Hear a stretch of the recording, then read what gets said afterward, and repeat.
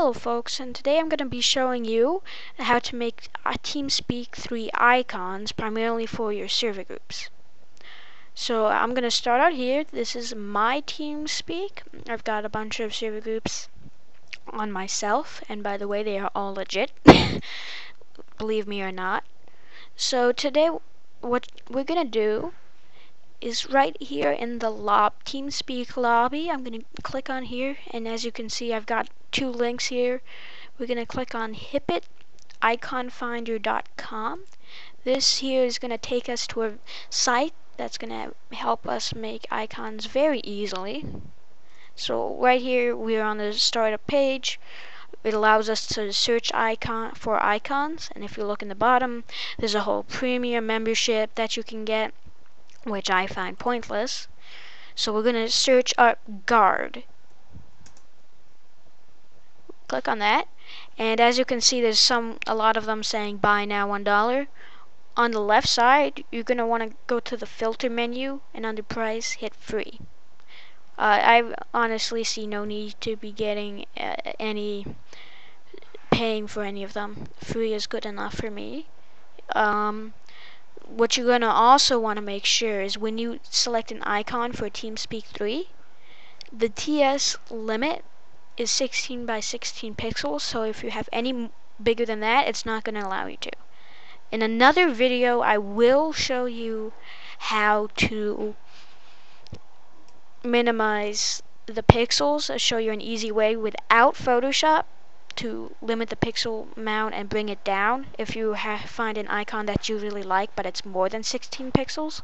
I can show you how to make it smaller quite easy as well just a little time consuming if you don't have Photoshop. So right here is a icon I like. So I'm gonna see here it says PNG and then more. You're gonna want to click on more and you can see 32 by 32 pixels 16 by 16 pixels. Once again we can only get 16 by 16 pixels otherwise we'd have to make it uh, spend some time in paint to minimize that the pixel amount.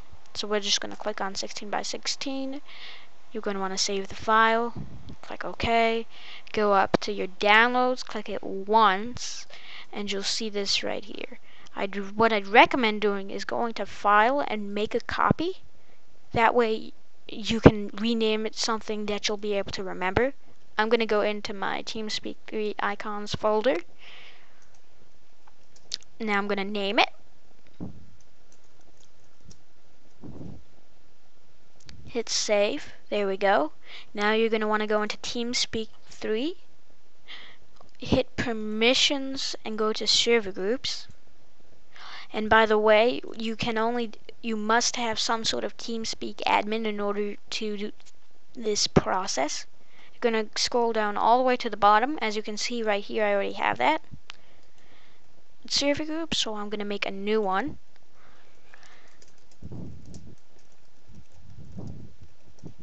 And make sure you create the group this server group using the template guest or normal.